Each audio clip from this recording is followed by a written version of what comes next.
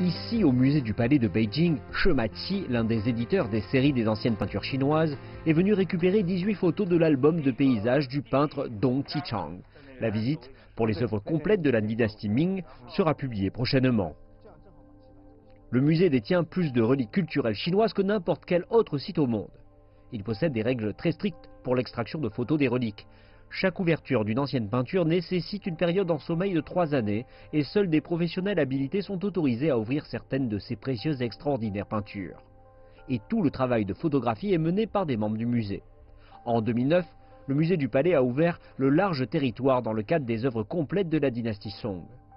En vue d'acquérir des photos de haute qualité, le travail de photographie de l'ancien rouleau de 12 mètres a pris une semaine. C'est sans précédent. Le musée du Palais fournit tant de trésors si précieux en une seule fois avec des images en haute définition pour les présenter dans les séries. Il s'agit de la première coopération du genre. Compiler les séries nécessite le soutien des musées de toute la Chine. Le photographe Zhang Yilin et ses collègues de la maison de publication de l'université du Zhejiang ont visité le musée de Tianjin à trois reprises. Plus de 7000 peintures des dynasties Ming et Qing préservées dans ce musée de plusieurs siècles ont été ajoutées aux séries. Les séries des anciennes peintures chinoises, après une classification et une compilation en une douzaine de rouleaux, sont devenues une exposition éternelle. Les gens ont un accès pratique à cet ouvrage à tout instant, et cela ne peut pas être remplacé par aucune exposition. Il n'y a pas si longtemps, le musée provincial du Liaoning a présenté certaines œuvres chinoises anciennes. Des visites quotidiennes ont atteint les 12 000 visiteurs, attirant des centaines de milliers de personnes. Et la plupart des œuvres de l'exposition ont été compilées en série.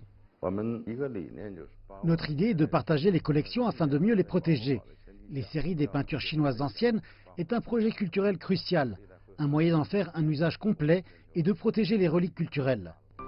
Alors que les anciennes peintures chinoises sont éparpillées dans le monde, les éditeurs ont fait leur possible pour réunir toutes les œuvres possibles. Et jusqu'à présent, 67 volumes ont été publiés. L'objectif pour les anciennes peintures est de les préserver et les protéger, et le plus important, de permettre à davantage de personnes d'en apprendre sur la splendide culture d'antan. Telle est notre mission. Les séries devraient être terminées en 2021 en tant que cadeau pour le centième anniversaire de la fondation du Parti communiste de Chine.